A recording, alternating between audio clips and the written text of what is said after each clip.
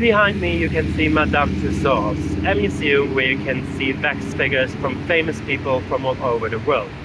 Now there are more and more museums like this all over the world, but the original one is the one here in London, which was opened in 1835 by a French lady called Marie Tussauds.